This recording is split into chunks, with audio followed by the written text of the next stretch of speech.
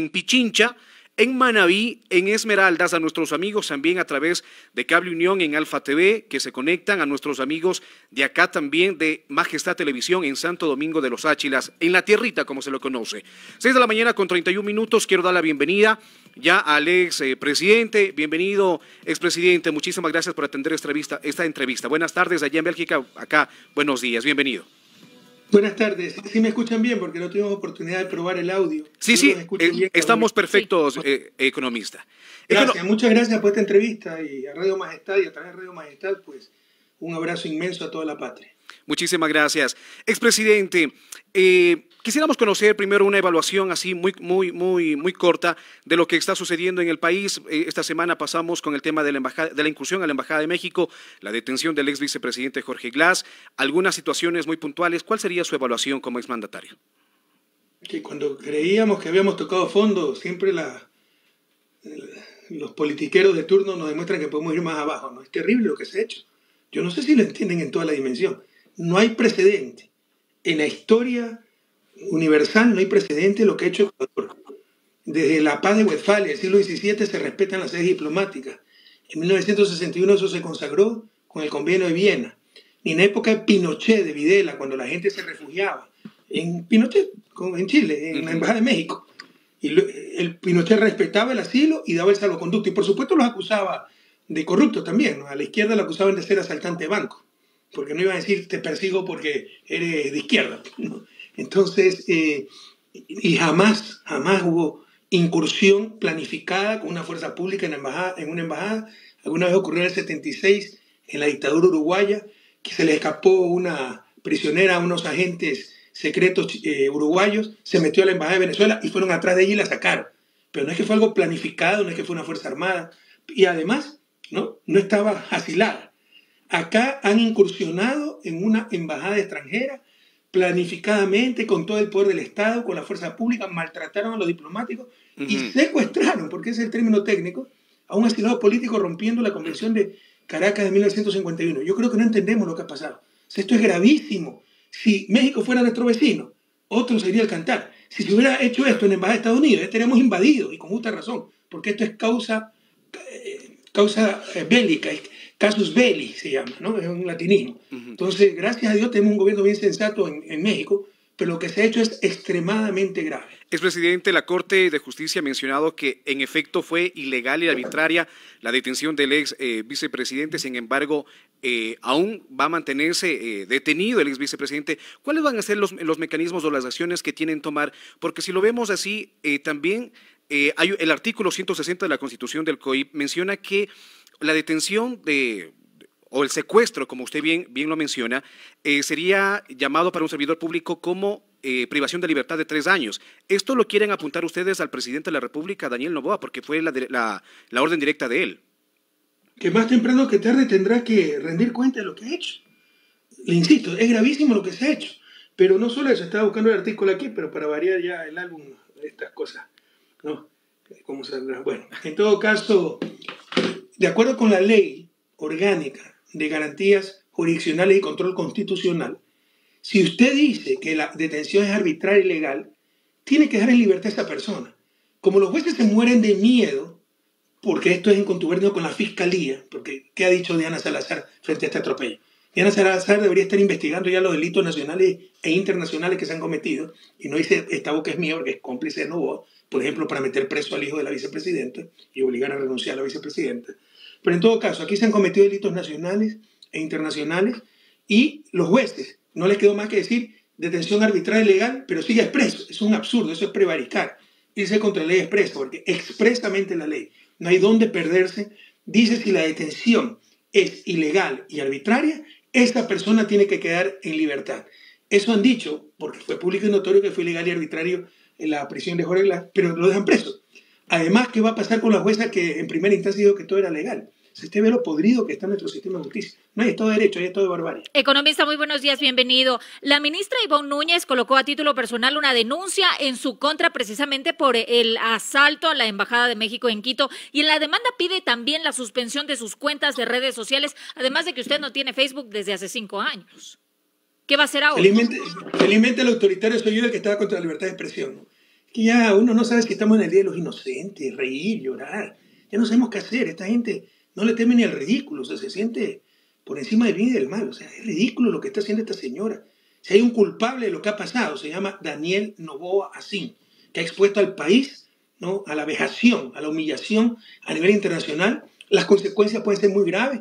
Probablemente ya no esté en la presidencia, esté viviendo con sus millones en su tierra natal, Miami, pero las consecuencias a ser para el pueblo ecuatoriano y ya estamos viviendo. Si bien Por ejemplo, ya hay agresiones a ecuatorianos en México cuando era una de las comunidades más queridas, se han suspendido ferias binacionales, o sea, eh, es torpe, expone a nuestras embajadas, mañana cualquiera entra en nuestra embajada, ¿qué, vamos a reclamar? Expone a nuestros funcionarios diplomáticos, mañana alguien agrega un funcionario diplomático, ¿qué vamos a reclamar? Entonces, eh, que no busque culpables la ministra, o sea, que no haga, no se rebaje tanto por un mendrugo. Aquí el único culpable es lo que ha pasado. Y si hay algún traidor a la patria, bueno, su patria es Estados Unidos. Pero si no fuera un traidor a Ecuador, se llama Daniel Novoa así. Expresidente, en la detención del ex vicepresidente también se ha pedido, más bien, eh, se ha pedido la explotación de los, de los teléfonos celulares y de la tablet. ¿Usted conversaba con el ex vicepresidente? Eh, ¿Había alguna conversación eh, más allá de que puedan encontrar? Y usted también ha mencionado que de esto pues saldrá algún show político previo a, las, a la consulta popular. Por supuesto que hablaba todos los días con Oreglas, pero en todo caso también dice la ley que cualquier dispositivo, cualquier prueba que se haya obtenido en la detención ilegal y arbitraria carece de validez. Pero ya le digo, rompen todo en Ecuador. Ah, es que tienes miedo de que, de que sepan lo que hay unos... No, tengo miedo que se siga destruyendo el Estado de Derecho, pero además de lo que sí tenemos, porque ya tenemos experiencia, es que eso lo hacen desesperados porque el domingo próximo tienen elecciones y verá que el jueves viernes dice que descubren una conversación con Norero, con el Chapo Guzmán, con Pinochet por medio del espiritismo, qué sé yo. ¿no? Entonces inventarán cualquier cosa y hasta aclararlo habrán pasado las elecciones. Como nos hicieron pues en la primera vuelta cuando asesinaron a Vicencio, que supieron siempre quiénes fueron los autores de ese asesinato, pero Diana Salazar permitió que nos acusen a nosotros para hacernos perder las elecciones. ¿Usted cree que entonces la Fiscalía va a hacer un montaje frente a, chats que pueden aparecer, no pueden aparecer? Casi seguro. si lo han hecho todo el tiempo. Oye, miren la última eh, comparecencia, los testigos falsos por todos lados. Testigo falso fue Raúl Chicaiza, cuando dijo que yo lo había llamado dos veces eh, eh, para que secuestre a, ¿cómo se llama este delincuente? Vamos a ver el nombre. A Fernando Valda. Valda, Valda, ¿no? Eh, Concienciado Santos, ya va tres versiones distintas. En la primera dijo que eh, le había dado plata a, Jorge Glass. En, el caso de Soborno dijo que pedían el nombre mío, nunca me había nombrado en la primera. En esta tercera, que da en Miami, o no sé dónde estén jugando a Poli, creo que en Miami, de nuevo no me menciona. Menciona a Jorge Glass y que le ha dado 18 millones de dólares. ¿Usted sabe lo que son 18 millones de dólares? Si se le dio efectivo, tenía que llevar dos volquetas, pues supongo. Y si se le dio en transferencia, están las cuentas, pues averigüen las cuentas. No hay dónde perderse averigüen las cuentas, pero se queda todo eso en el aire. Entonces tenemos testimonios falsos, tenemos Pamela Martínez, ¿no? que su cuaderno Hello Kitty, que los archivos verdes que lo encontraron cinco años después en la computadora de Laura Terán. Pero en los últimos meses hemos tenido a este señor Lazo, creo que se llamaba, compañero de pabellón de Norero, que dice que me vio y escuchó hablar con Norero, ¿no? Para la liberación de Jorge Glass. El tipo tiene super oído como Superman. Pero además que hablaba por Trema, una aplicación que les puedo mostrar la factura, recién la compré hace un año, y que identificada como RC5. O sea, soy tan estúpido que se gasta plata en una, en una aplicación ultra secreta para poner RC5. O sea, son tonterías. Luego viene este eh, señor Muñoz de, eh, que ahorita preso de judicatura, ¿no? que hemos estado en un complot para tomarnos la, la judicatura de acá, de Bélgica. Son tonterías, pero entonces, cualquier cosa se puede esperar. Y hasta que se aclare, pasó las elecciones. Entonces, ¿cómo no vamos a estar preocupados si ya tenemos más que, ya estamos graduados en esto? que toda la vida inventan algo. Sí, economista, cuando Jorge Glass estaba en la Embajada de México, ¿usted conversaba con él todos los días? ¿Él a lo mejor le habló de esta posibilidad de la incursión policial? Nunca nos imaginamos que eran a tantos. No, no, eso no estaba en nuestra perspectiva. Jamás. Es que no ha ocurrido nunca. Nunca. jamás nos imaginamos de eso. Cuando rodearon la, la, la embajada con tanquetas, con fuerzas especiales, decía, qué bruto, ¿no? Qué, qué bloferos y qué, qué show que están dando. Ahí fue que Andrés López Obrador le dijo, estamos enfrentando fachos, ¿no? Porque eso solo hacen los fascistas. Pero jamás nos imaginamos que iban a incursionar en una embajada extranjera y peor, la embajada mexicana. Le insisto, si México fuera nuestro vecino, otro sería el cantar. Si esa embajada hubiese sido la de Estados Unidos, ya estaríamos invadidos. Y por un instante imagine que yo hubiese hecho eso, que el que estaba asilado era Fernando Villavicencio. O efectivamente creo que le dieron asilo algún rato, ¿no? Y que yo incursionaba en la embajada para detener a, a Fernando Villavicencio. Es que ya no me hubieran enviado hasta el Tribunal Penal de la Haya, pidiendo hasta crucifixión. Que usted ve el doble estándar. Lo que se ha hecho es gravísimo, sin precedentes. Hay una serie de reacciones con respecto a la incursión de la, en la Embajada de, de México. Sin embargo, hay un, hay un silencio que también quizá preocupa, el de Marcela Guiñaga, que últimamente se ha visto bastante cercana a la familia del presidente Novoa. A lo mejor hay diferencias con la prefecta del Guayas. Yo sé que es muy amiga de Nadia Novoa, ¿no? Pero tendría que preguntarle a ella. En todo caso, independientemente de la amistad, hay cosas de principios, hay cosas que tienen que gritar hasta las piedras, ¿no? Como dice la Sagrada Escritura, hasta las piedras tendrían que gritar, porque eso no puede pasar. No se puede romper la propia civilización. Esto ya no es enfrentar el fascismo, enfrentar la barbarie. Se atenta contra los principios civilizatorios. No se puede incursionar en una embajada extranjera, maltratar diplomático extranjero y secuestrar a un asilado. Es imposible. Y así sea mi mamá que lo haya hecho, tendría que denunciar.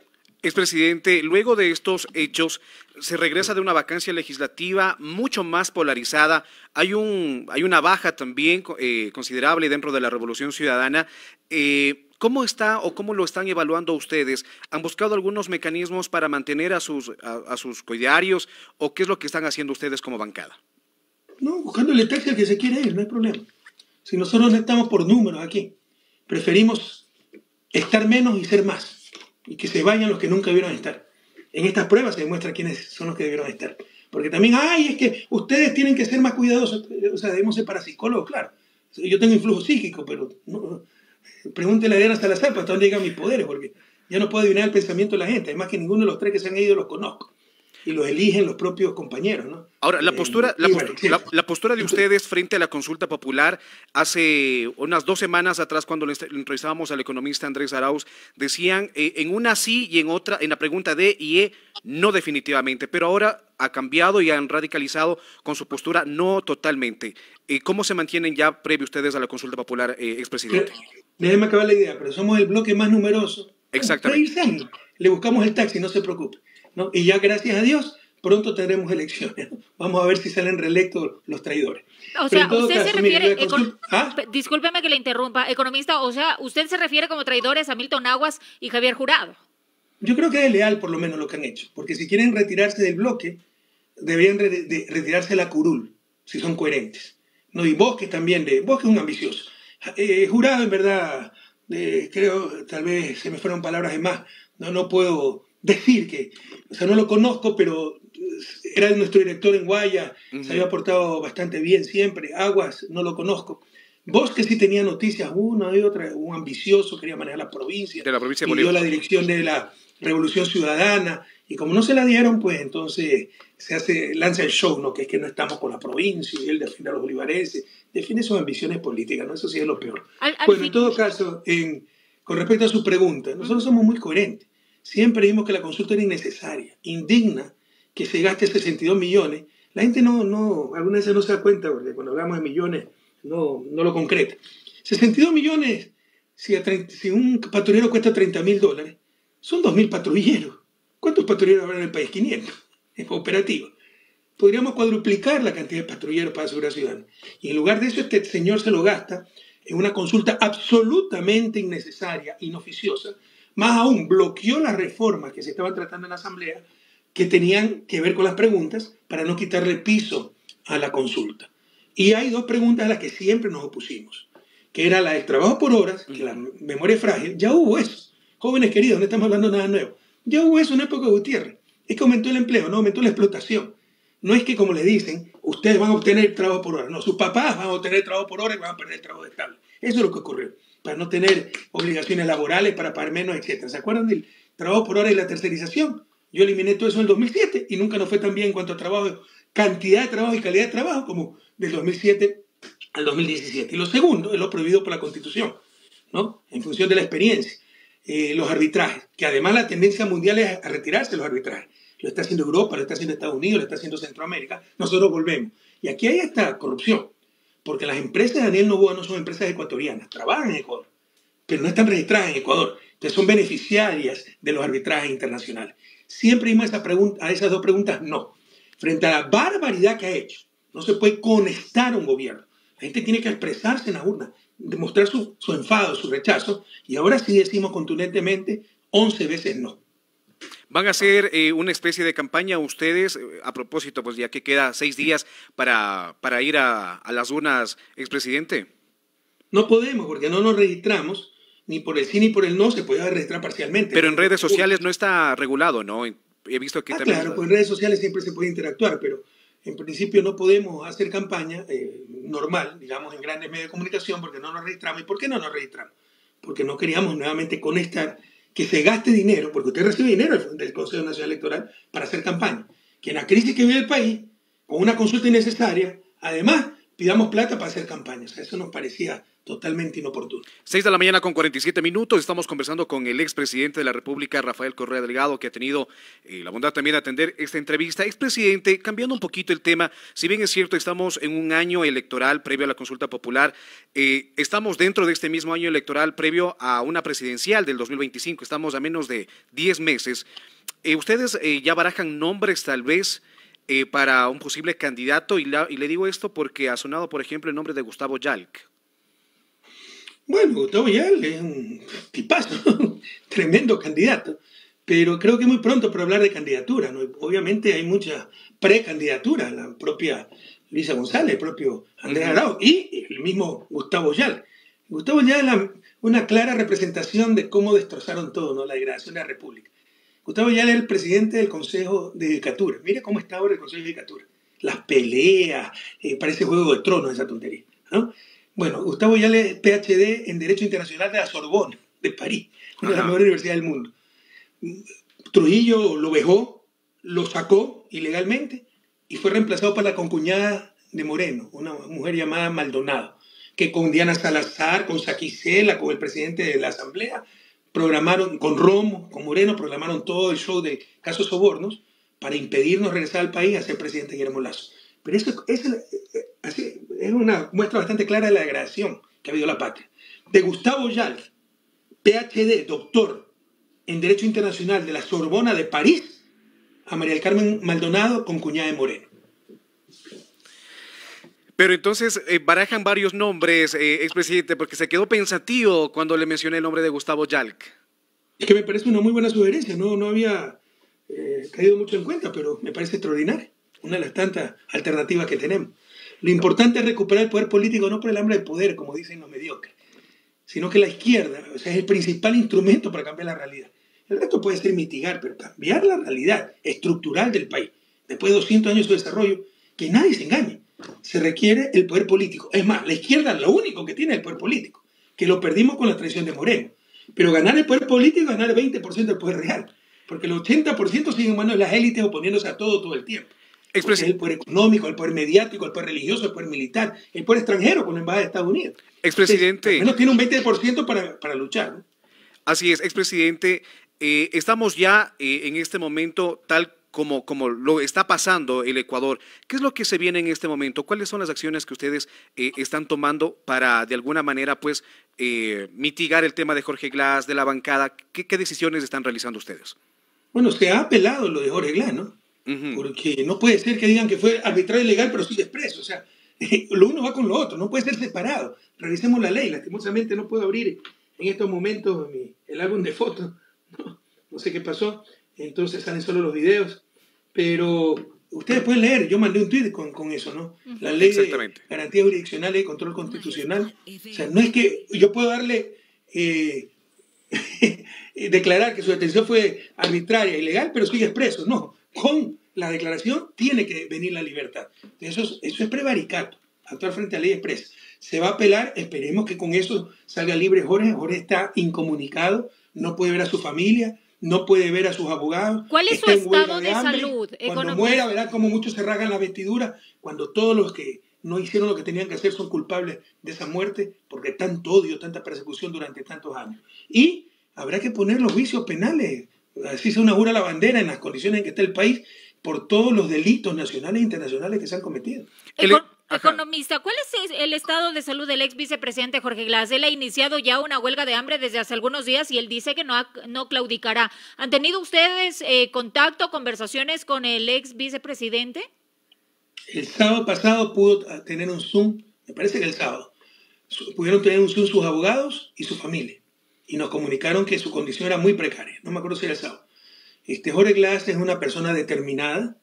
La otra vez eh, todo esto fue ocultado por la prensa, pero tuvo 52 días de huelga de hambre porque no tenía las más mínimas seguridades ni las más mínimas, eh, los menores servicios en su celda. ¿no? Los motines cundían por doquier. Entonces pasó 52 días. Le llevaron a un hospital en huelga de hambre, todo fue tapado por la prensa. Ahora no creo que aguante tanto porque su condición física es menos buena. En todo caso, él está en esa huelga de hambre. ¿no? 6 de la mañana con 52 minutos. Queremos agradecerle a usted por su tiempo, economista. Muchas gracias por atender esta entrevista. Sabemos que tiene una agenda completa este día. Eh, su mensaje final a los ecuatorianos. No, yo iba a dejar de dar entrevistas porque estoy desesperado tratando de acabar mi libro. Tengo dos años atrás. Pero como me pusieron un juicio de traición a la patria, y justo coincidió cuando leí, ya no les pongo más entrevistas porque no tengo tiempo dijimos, bueno, tengo que seguir dando porque van a creer que paramos por, por el juicio, ¿no? En todo caso, el mensaje a la patria, por favor, o sea, ¿qué más esperamos, compañeros? Ya basta, los que odian a Correa quieren a su patria. Cuando se rompe el Estado de Derecho, entiendan, cuando se hace actos de barbarie, no es contra una embajada, no es contra una persona, la quiera o no, contra reglas, es contra todos y, y relacionen causa con efecto. Por eso está destrozado el país, porque no hay Estado de Derecho, hubo una anomia social, no se respetan leyes, no se respeta verdad, no se respeta valores, no se respeta principios, no se respeta nada. La trampa viene de las altas esferas. El propio Emil Novoa, un mentiroso que hace todo lo contrario de lo que dijo en campaña. Pero así es la política, así no es la política, queridos jóvenes. Así es la mala política, la política sin ética. Y eso es lo que nos tiene en su desarrollo. Tenemos una fiscal que evidentemente ganó con trampa, eh, flageó su tesis, pero como persigue a los correístas, está dedicada a perseguir con el caso de reconstrucción ridículo, porque no está de acuerdo con las obras que se hicieron en Manaví y los narcotraficantes están campantes, se le escapa en sus narices. Economista. A reaccionar pueblo ecuatoriano. La economía está hecha a pedazos. No hay medicina en los hospitales. La migración ha vuelto a, reactivarse. Así que en 2025 tenemos que recuperar la patria. Economista, antes, antes de irnos, la semana pasada el ex vocal de la Judicatura, Javier Muñoz, en su testimonio anticipado dijo que había una estructura planificada por usted para que regrese al país y que con eso querían, eh, querían sacar a la fiscal para lograr impunidad. Por influjo psíquico, seguramente. O sea, me sobreestiman. ¿Cómo, cómo voy a tener yo una, una estructura? O sea, ninguna de esos vocales fue puesto por nosotros, todo por Trujillo. ¿ya? Yo estoy al otro lado del mundo. ¿Cómo puedo tener una superestructura? La verdad es que este tipo, Javier Muñoz creo que se llama, insistió para verme. ¿Ya? Y por fin le di una cita en Brasil cuando fui a un invitado por el Partido Socialista por un grupo de abogados a que hable sobre el que quedaron espantados cuando vieron el caso Soborno. Y me dio muy mala impresión. Gracias a Dios hay una tercera persona ahí que en caso necesario le pediré su testimonio para que demuestre que este es un mentiroso. Y él fue el que me dijo, me persigue el lazo porque no, no quise renunciar, entonces necesito apoyo. Y la fiscal es una corrupta y sabemos lo que hizo en el caso Soborno y queremos votarla porque es inepta, corrupta, persigue y porque creo que había hecho mal una evaluación de fiscal. Algo Él fue el que propuso todo eso. Ahora resulta